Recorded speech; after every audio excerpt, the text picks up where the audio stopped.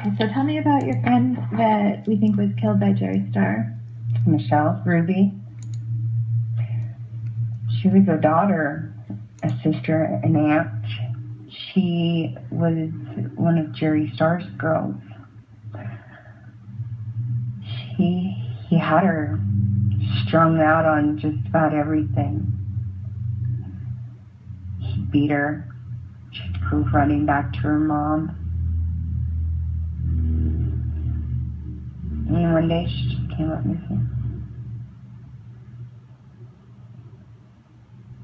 And she was missing for a while. Jerry Starr did some terrible things to her when she was alive. She loved him. For whatever reason, really loved him.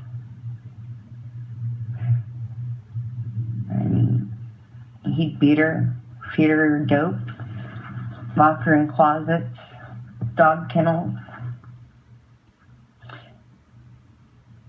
not let him out to go potty. Mm-hmm. They he'd lock him in the, he'd lock her in that closet and just break her will. Mm-hmm. Down to nothing. Keep her strung out on crack, tweaking, Mm-hmm. whatever dope made her made her numb is what he fed her. Yeah. Do you know why she or none of the other girls like ever tried to go to the police for help? Yeah, you're gonna go to a cop and tell him, excuse me, my pimp's beating me and feeding me dope. What cop's gonna help you? They're gonna arrest you. Mm-hmm. Problem is, is that you know, a working girl goes in to ask for help against their their pimp. They get in trouble and then they're sent back out with nothing again Mm-hmm. in the same situation to deal with the same person, him. And he was the one bailing them out, Yeah. or sending one of the other girls to bail him out. Mm-hmm. That he'd be right there in the car. Mm-hmm. So either way, I mean, the minute they walked out of that jail, he was right there. Yeah. So when they found Ruby's torso, they found it floating up into the inlet. Um, there's no way to identify her. I mean, there was a tattoo, and they tried running it through the police database, and there was no hits. They couldn't fingerprint her. They couldn't do footprints. They couldn't even do dental imprints because all that floated up was just her torso. Mm-hmm. So, you know, it was all over the news, and they tried really hard. And then somebody came up with the fact that it looked like a jail tat, and so they took it up to Highland, a picture of the tattoo, and they passed around the picture. Somebody recognized it as Ruby's, and um, they ran her working name through the database and found out it was Michelle. And they notified Ruth.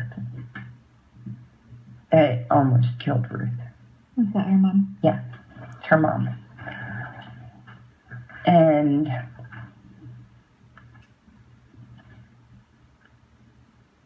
they have yet to recover her arms, her legs, and her head.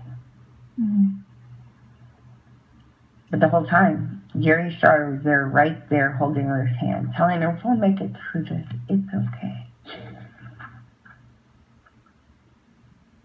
And Ruth thought Jerry was innocent of everything until one day she was smacked with the truth of what he did to his girl. Mm-hmm. Tortured him, beat him, fed him dope. And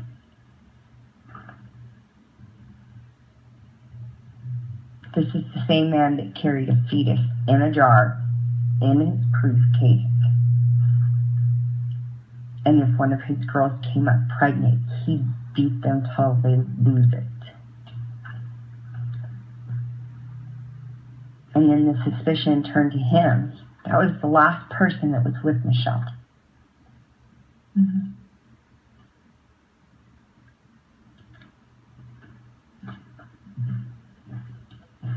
And when Jerry was charged in court for, I think it was like 46 different charges, they still didn't have enough evidence to charge him with Michelle's murder. Mhm. So her murder is still unsolved, but everybody knows Jerry killed her. Yeah, I remember like 10 years, yeah, like 10 years ago when I was asking people, like, what agency should I work for? What agency's bad? People were like, stay away from Jerry Starr. He killed those girls. So everybody's known it for so long. Oh, yes. Everybody that knew Jerry knew he did that. It was right up his alley. hmm I mean, he threatens girls to do this.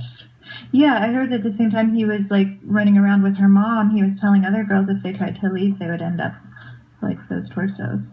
hmm And her torso wasn't the only torso found, though. There was another torso found.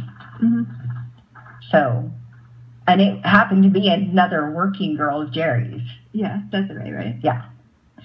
Um, so what do you think, like, for people that are making laws and wanting to, like, not have people like Jerry Starr in Alaska, or to have the woman, like, come forward and go to the police right away and not wait until people get killed? What would need to happen for that to happen? First of all, stop looking at us like we are asking for it by being in the industry. Just because we work in the industry